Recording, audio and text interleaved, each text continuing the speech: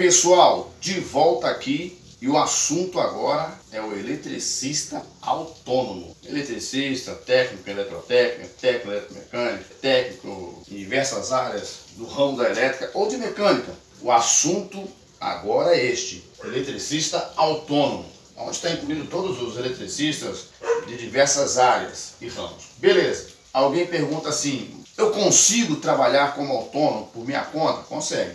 Só que na vida existe todo um, um jogo de negociações. Você precisa negociar tanto quanto você trabalha quando empregado, tanto quanto você trabalha como autônomo. Trabalhar de empregado tem as vantagens que faça sol ou chuva, o teu salário está lá. Porém, você é um profissional limitado. Você só vai, você vai ter dentro daquela empresa um plano de carreira. Você só vai conhecer aquele canto ali. Tá? Ou se a empresa tiver outras empresas, você pode migrar, ficar visitando de uma e outra, dependendo do teu engajamento, da tua luta como profissional e você for crescendo né, profissionalmente. Porém, você quer trabalhar como autônomo. Aí você faz a seguinte pergunta: quais as principais perguntas que as pessoas fazem na área autônoma? Quanto ganha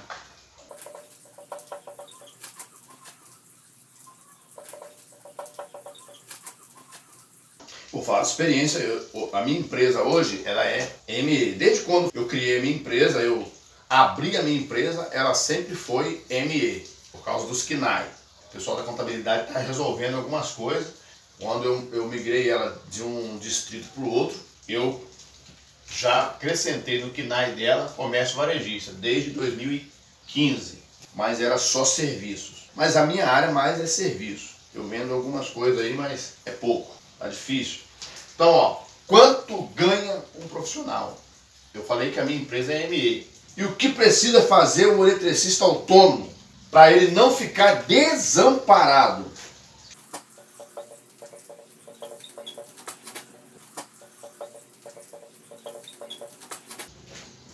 São perguntas. Quanto ganha? Varia. Se você for um bom profissional, você não tira menos de 5 mil não. Você vai tirar né? Vou botar aqui uma base aqui, base de 5 mil reais. Vamos ser modestos. Mas se você for aquele camarada proativo, lutador, você pode chegar a faturar dentro de um mês entre 10 e 20 mil reais. Vai depender de qual serviço você vai fazer e de quanto tempo você vai ficar dentro daquela empresa. Tem, tudo tem que ter uma, uma balança para você é, negociar nessa questão. O que fazer? Quem trabalha como autônomo precisa abrir um MEI. Por quê? Para ele ser amparado. No MEI ele vai ter o seu CNPJ. Nesse CNPJ você vai pagar, se você não gerar nota, você vai pagar uma taxa mínima de torno de 60 a 70 reais, se não estou enganado. Ao pagar essa taxa, você está pagando ali também, contribuindo para o teu INSS. É uma possível aposentadoria com um salário mínimo, mas já, já é uma garantia. Se você passar por algum problema e outro, você vai ter um amparo do governo, pelo menos de um salário mínimo, de INSS. Beleza. É preciso do CNPJ. Ele serve para você contribuir com o INSS, ele serve para você emitir nota fiscal, tá?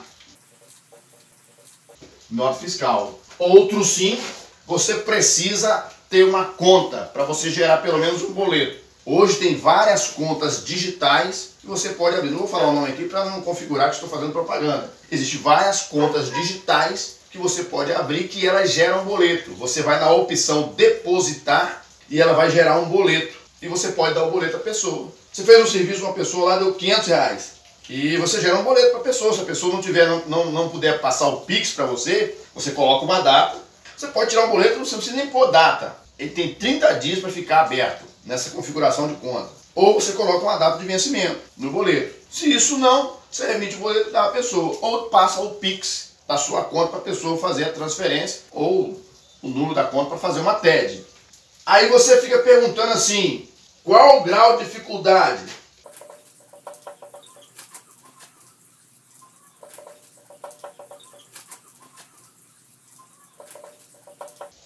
Falo de experiência própria, tá? Já Eu vivencio isso quase todos os anos. Tem ano que você consegue virar o ano bem, tem ano que você, consegue, você vira o ano mal, dependendo das crises. Grau de dificuldade, você pergunta. E o grau de dificuldade? É que tudo que você fizer, quem é o financiador, o pagador, é você. Você é o financiador, você é o pagador. Então você precisa ser muito disciplinado nessa questão.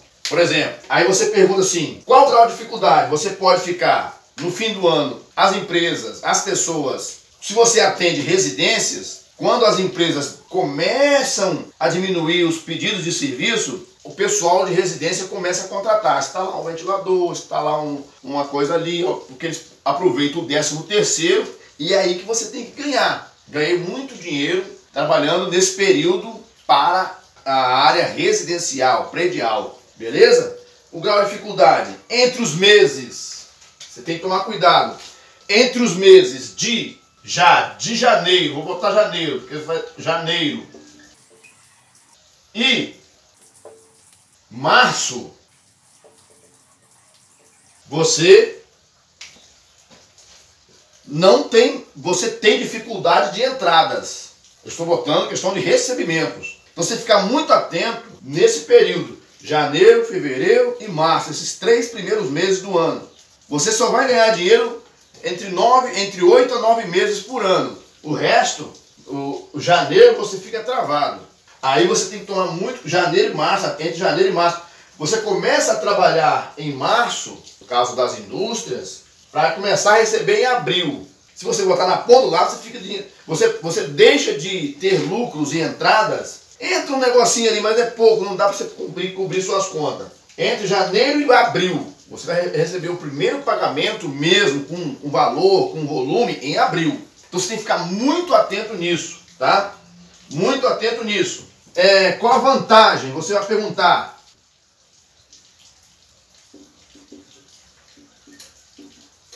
A van... Eu falei só das entradas, tá? Tem muitas outras questões quanto ao grau de dificuldade.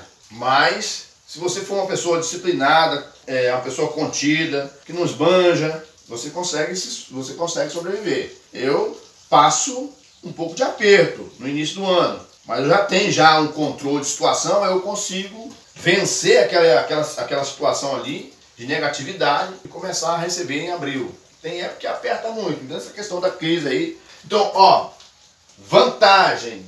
Qual a vantagem? Você tem aqui, ó, a sua independência profissional e financeira. Para os mais novos, até os mais velhos, não tem problema não. Profissional e financeira. A, a, independência profissional é que você não vai estar preso apenas em um lugar. Você vai trabalhar, vai trabalhar em vários lugares. Você vai conhecer vários tipos de equipamentos e máquinas. Isso falando da independência profissional. E você pode fazer o teu horário. Você fala assim: amanhã eu não vou trabalhar porque eu tenho compromisso tal. Você não trabalha. Esta semana eu não posso trabalhar na segunda e na terça. Você se programa. Quando você está desempregado, você não pode tomar essa decisão porque você vai ser demitido. Já trabalhando como autônomo, você tem sua dependência profissional. Você pode fazer o teu horário. Você pode decidir se você vai trabalhar fim de semana ou não. Agora, se você for um, profissional eletricista autônomo e você firmar contrato de atender uma empresa 24 horas, aí você tem que atender 24 horas. Te chamou 10 horas, vai ter que ir. Te chamou meia-noite, tem que ir. Te chamou 3 horas da manhã, você tem que ir. Porque você, você fez um contrato. Então você trabalha muito nessa questão quando você firma o contrato. Porém, o retorno é garantido. Você tem uma empresa que te sustenta. Porém, se você se programar que precisa viajar ou acontecer alguma coisa, você consegue, você tem liberdade para tomar a decisão. Ah, vou sair esse fim de semana com a minha família na sexta, no sábado no domingo. Você tem, você tem condições de se programar dessa forma. Você avisa a empresa, ó, na sexta, no sábado e domingo, eu não consigo estar aqui, tá? Se acontecer alguma coisa, eu não consigo. Aí é muito importante a questão, a questão da parceria. Você tem um colega, um amigo que possa te socorrer na hora em que você estiver ausente. Isso é muito bom. O correto, as empresas deveriam ter um eletricista, cada uma. Ou eu vejo que muitas empresas são pequenas, têm dificuldade de ter eletricista porque ele fica caro. Com o passar do tempo, ele está rendendo e fica caro. E a empresa não quer perder ele, mas ele é caro. Caro para a empresa, né? O que, que as empresas deveriam fazer? juntar duas ou três ou quatro empresas pequenas e contratar um eletricista que vai atender as quatro empresas como se fosse uma sociedade no contrato dessa, desse camarada. Você pode atender ela no meio, essas, essas quatro empresas no meio. E no final do mês elas têm um acordo de cada uma tirar um pouco de cada de fatia e pagar você como profissional. Se pensarem assim, ninguém fica com deficiência. Você pode ter, dentro de um raio de 15 a 20 quilômetros, você pode atender essas empresas. O correto é você pegar empresas mais, mais próximas, por causa da distância, do custo e tudo mais. Beleza? O grau de dificuldade. Financeira, por quê? Você, você sempre vai estar ganhando acima da média salarial do pessoal. É importante você tirar uma fatia dessa e guardar. Eu tenho dificuldade de guardar, mas o importante é isso. Então, grau de dificuldade. E é o último aqui, ó, tá? Como você faz a seguinte pergunta: como eu consigo ser um o que eu preciso, né? O que eu preciso, o que preciso. Aqui é o que fazer. Aqui o que preciso? Olha, você precisa ter ferramentas básicas, como chaves alicate, uma bolsa de ferramenta ou uma mochila de ferramenta, um, pelo menos uma moto. A pé é complicado, você atender empresas de, de ônibus ou de carona, no mínimo você precisa de uma moto. Eu estou falando, sendo modesto, você precisa de uma moto para poder você conseguir atender as empresas e dar o suporte. Seu salário não vai ficar, os teu, teus rendimentos não vão ficar menos de 5 mil não. Sempre por quê? Por causa da hora. Você vai cobrar um valor por hora. Geralmente eu cobro a, a visita técnica. Primeira hora X, depois eu vou cobrando um valor menor até o final do expediente. Se eu ficar o dia inteiro, é um valor menor. Hora de montagem é, é diferente da hora de resolução de manutenção ou de solução de falha. A hora de montagem ela é totalmente diferente. Porque você está montando um sistema, você está vendendo um conhecimento. Aí a hora é um pouco diferente, é um pouco mais do que a hora de manutenção. Beleza? Eu não sei se eu te ajudei, o que, que eu preciso? Eu falei que você precisa ter. Você precisa comprar é, ferramentas, ter pelo menos uma condução, aqui é um, aqui é o dois. Três, você precisa de um, um aparelho, de um smartphone, tá? um celular, vou botar celular aqui para poder ficar mais fácil. E você precisa de contato. Se você não tiver essas quatro coisas aqui, que é a básica, você tem dificuldade para trabalhar. Você tem que ter um celular para o pessoal te achar, pelo menos um smartphone. Não precisa ser caro, você acha um smartphone de mil e poucos reais aí, que tem uma boa funcionalidade. Esse que está gravando agora é um J6, que eu comprei em 2019, está com a tela quebrada, mas é o celular que eu gravo todas as minhas gravações e posto no nosso canal. Ele me ajuda muito. Daqui a pouco eu tenho até preocupação se ele abrir o bico aí, o que eu vou fazer ele ficou para mim por R$ 1.200 na época. Eu não sou de dar dinheiro alto em celular, em smartphone. Eu não sou de comprar smartphone caro. Ah, vou comprar um top de 5, 6, 7 mil. Eu não tenho essa condição, entendeu? Porque eu acho também perigoso você andar com celular muito caro. Comprar um celular mediano, que dá para você tirar foto, que dá para você gravar vídeos, porque você vai precisar usar isso muito no WhatsApp no dia a dia, porque você vai precisar utilizar para fazer os seus contatos. Condução, você pode ter no mínimo no mínimo uma moto. Ferramentas, as ferramentas básicas, que eu já até gravei um vídeo sobre as ferramentas que você tem que usar, tá para trás aí. E contato, você precisa dialogar, você precisa ter, ter amizade, você precisa ter parceria, você precisa ter pessoas. Então, quando você faz parceria, alguém fala, ah, eu conheço fulano, porque é de boca que vai as informações. Eu conheço fulano, ele é bom, pode chamar ele. Então, já tem empresas que confiam em determinados profissionais ou pessoas que qualquer pessoa, que qualquer pessoa, se não, se ele falar assim, fulano pode te atender aí, eles vão ligar. Muitos atendimentos que fiz foi por indicação. Então você precisa ter esse contato aqui, ó, tá? Onde você possa ser indicado, né, para a empresa. Então o serviço que nós estamos para fazer aí foi indicado. O rapaz, ele, recebeu um contato de um empresário, de uma, de uma empresa, e é em Minas, certo? Tá em Minas. E esse colega falou assim, você tem especialidade nesse, nesse tipo de equipamento? Quer ir lá comigo? Não? Então, vou lá ganhar meu dinheiro, né?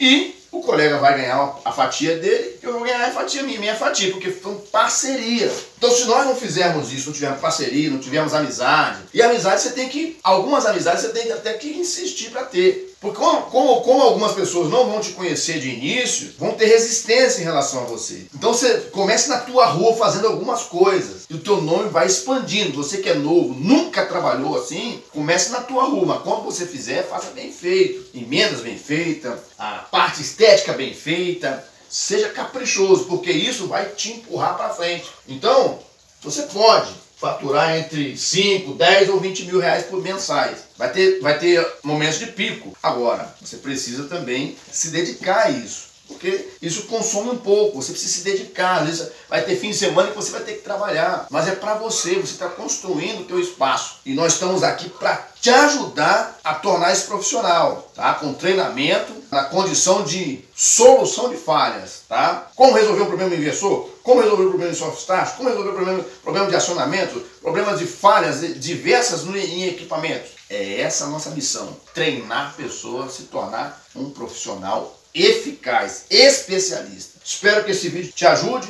Eu não falei na linguagem um pouco mais técnica porque eu queria falar um pouco mais aberto, passando de maneira básica, simples, o que você precisa fazer. O eletricista autônomo, quanto ganha? O que precisa fazer? Qual o grau de dificuldade? Eu falei só em questão de finanças do grau de dificuldade aqui, mas tem muitas outras coisas mas não é o bicho-papão. E falei das vantagens. Que tipo de vantagem? Independência profissional e financeira, em que você vai ser o seu encarregado, o seu patrão, o seu secretário, onde você vai decidir sobre você mesmo, sobre o que você deve fazer ou não. Isso é muito bom, você ser independente. E o último aqui, o que eu preciso fazer? Eu preciso ter esses quatro itens aqui